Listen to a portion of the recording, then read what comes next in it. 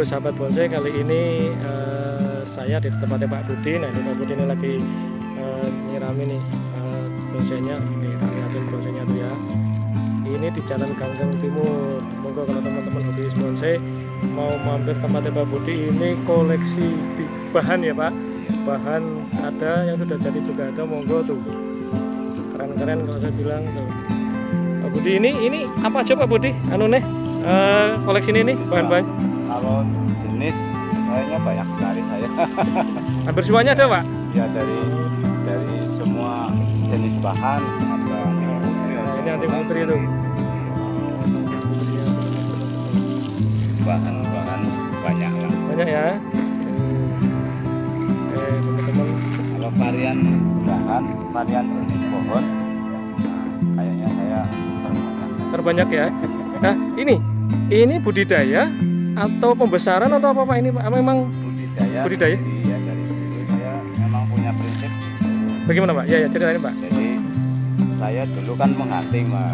Oh, dongkel lah ya. Ya, dongkel. Dongkel dan bolang. Iya bolang itu loh. Oke, oke. Jadi, Setelah saya pikir-pikir kalau saya bolang terus sampai tua apa saya mau bolang terus gitu. Cakep, cakep. Nah, makanya Cakep.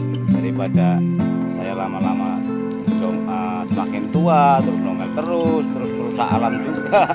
Nah, saya nggak bisa membenahi alam gitu. Makanya saya punya pikiran saya harus budidaya.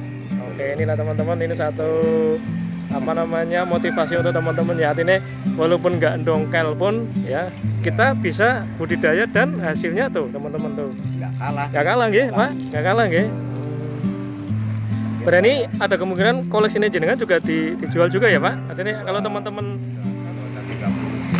32 tahun. Nih tak pegang nih. Ah, teman-teman 32 tahunan nih.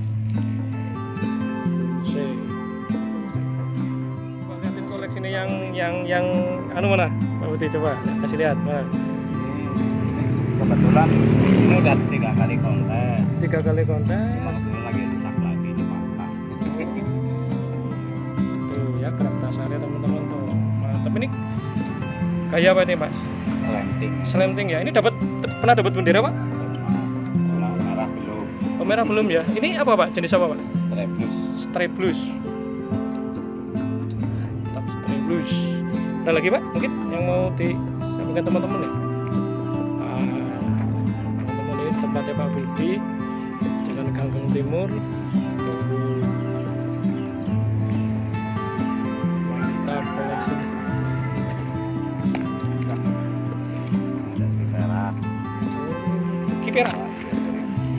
kiperat wah tuh teman-teman kiperat tuh rantingannya tuh papannya tuh Tinggal wiring. tinggal wiring saja. Ada lagi pak? Ada cincuan. kincuan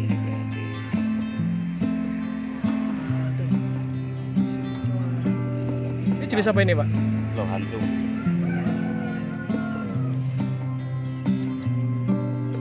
di program juga ya pak ya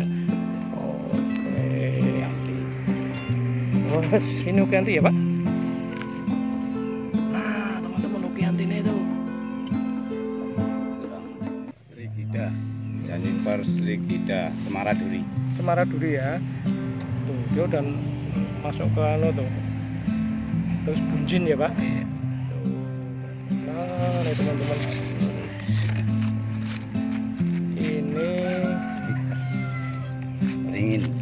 ya teman-teman ini. juga lagi dilas juga ya pak Iya. tuh lihat tanahnya teman-teman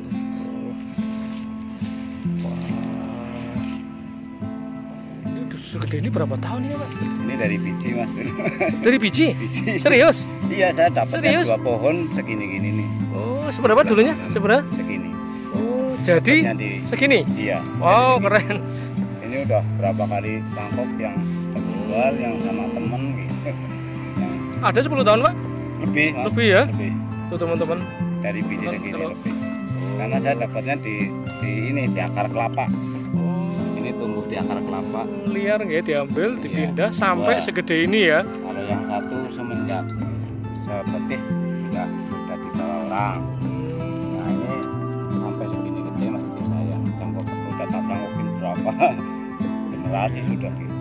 Kalau nggak dicangkokin mungkin udah Gede banget ya. ini ori ini. Ori ya? Ori. Dari biji ya dari kecil ya? Bukan bukan gabungan bukan tempelan. Gitu. dulunya hunting ya. Dulunya hunting terus berubah. Haluan menjadi kalau boleh saya sebut sebagai petani bisa pak? Oh iya. Petani ya sekarang ya saya awal tujuannya petani dulu. Petani ya oh, oke oke oke. Petani petani. Berarti ini dari mulai tahun berapa nih dari hunting terus eh, apa namanya berubah konsep jadi petani pak? Tahun 2001 saya sudah mulai punya prinsip saya harus bertani. Harus 2001 budidaya, ya ya, gitu karena juga, sudah ya? sudah mulai dapat bahan-bahan yang saya beli gitu. Akhirnya berubah. Perbanyakan ya Iya, stek perbanyak budidaya cangkok cuma macam. ya kendalanya di lahan aja. Oh Lah saya kira ini lahan udah luas banget tuh, ya, teman-teman tuh. sudah luas sampai belakang Sampai tapi ke belakang ya? terus Masih kurang juga. masih kurang Wah, kalau gitu Ya, nyewa lagi. Pak ini Pak perlu, Pak. harusnya pelebaran sampai ke mungkin lahan yang mana di, di lain tempat gitu harus diboyong gitu Nah, monggo teman-teman kalau mau join nih bisa nih dengan Pak Budi nih. Boleh, boleh. Masih kurang lahan monggo. Siapa yang mau join silakan. Nah, ini secara prospek gimana Pak? Taruhlah pakai istilah ini untuk untuk motivasi teman-teman nih yang Ya. tadinya bolang eh, supaya bisa berubah eh, ke ke petani. Apa namanya? Peluang, ini ya, ya. nggih, nggih. Peluangnya? bisnisnya gitu Ya, ya. jadi kalau menurut saya gini kalau kalau bolang kita carinya nggak selektif juga kurang prospek ya Betul. Itu, Harganya karena- juga ya. betul lah ya. dulu zaman dulu saya bolang 50.000 itu sudah luar biasa pak Dulu. iya dihargai satu bonggol 50.000 luar biasa tapi sekarang kayaknya untuk cari bonggol Yang bagus ya. level 50 mungkin sekarang 500 atau 5 juta lah ya itu susah Susah nggak ya? ya lahan sudah semakin sempit yang ada bahan terus Yang penghunting semakin banyak, banyak. sekarang Oke. sekarang alhamdulillah penggemar bonsai banyak sekali jadi tambah tambah saingan tambah tapi karena saingan sehat no problem lah tapi kalau menurut saya alihkan ke budidaya Oh, budidaya nggak? ya, gitu. Tapi prospek artinya nggak? ya untuk semua bahan bisa di, di, di budidaya gitu loh diperbanyak mungkin satu jenis apa kedua jenis apa itu bisa ratusan bahkan ribuan uh, jenis gitu loh Oke, nanti itu. kita bicara masalah prospek. Nah, sekarang kita mau tanya nih ke Pak Budi nih untuk informasi ke teman-teman. Nah, kendalanya Pak, ketika kita menjadi eh, petani, Oh, kendalanya paling ya kalau awal belum punya lahan lebar itu satu lahan nggak? ya lahan kedua eh, beli bahan ya otomatis seperti itu Oh, iya iya betul betul betul. Nah, tapi jangan khawatir. Eh, saya saya menyiapkan atau menyediakan bagi orang-orang yang punya semangat. Silahkan Anda nggak beli nggak masalah. Yang Oh. penting Anda punya lahan kemauan. Kemauan. Ya. Eh, lahan dan sebagainya mau berkembang biak di mana tempat silahkan Cakep. datanglah ke Jalan Nah, ini, ini saya cocok nih dengan Mas Budi nih, cocok. Nanti Cakep, kasih bro. aja gitu loh. Jadi Ya, satu nanti informasi ada- artinya gini, Eh, di dunia bonsai bagi Pak Budi ini ini nomor satu silaturahmi lah ya luar biasa ya, iya, karena betul. di sana eh, tetap nanti ya namanya dari silaturahmi banyak teman banyak peluang banyak relasi jadi silakan yang mau join eh, nanti bisa ngubungi Pak Budi ya Ya. Oke, nanti bisa berbagi sharing ilmu bibit ya monggo gitu loh oke Pak jadi di sini kalaupun apa namanya selain dikoleksi juga nantinya di dikomersilkan ya Gitu aja. ini kira kisaran sampai harga berapa Pak yang paling murah sampai yang paling mahal Kalau yang yang sudah sih ada lah ya. Yang, kalau yang sekarang mungkin paling mahal hanya sekitar 15 juta. 15 juta ya Nah, yang lain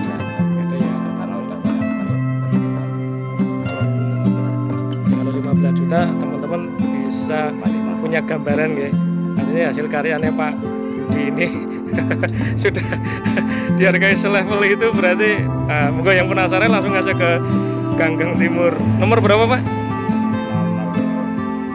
Rumah. Iya urutannya nomor 4 aja. nomor 4 ya Nomor dari rumah. perempatan RT 01 RW 9. oke nomor HP-nya berapa Pak?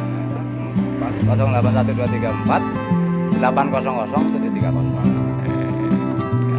ya, teman-teman moga nanti kalau mau konsultasi apa pun dengan Pak Budi kalau saya bilang eh, ini udah pengalaman lah ya dalam dunia bonsai silakan kalau mau japri nyari bahan banyak Ya, komplit nah, banyak sering yang messenger dan sebagainya itu ya itu mungkin ber- banyak yang kenal saya. oh nama FB nya apa Pak? di bonsai Budi Bonsai Iya. oh tuh. Instagram punya Pak? Enggak. kebetulan punya kebetulan tapi vakum. Vakum ya? FB nya ya? Waktunya ya waktunya enggak bisa karena harus on jadi silakan di add pertemanan nanti di FB nya Oke, siap. Oke lah Pak Budi mungkin sementara hari ini eh, ini biar teman-teman penasaran nih. Next kita tetap akan explore nih tempatnya Pak Budi eh, tentang mungkin teknik atau sharing terkait dengan bonsai. Mungkin sampai sekian dulu Pak Budi. Oke sip. Lain waktu kita sambung. Salam satu hobi semangat sukses. Terima kasih. Assalamualaikum. Waalaikumsalam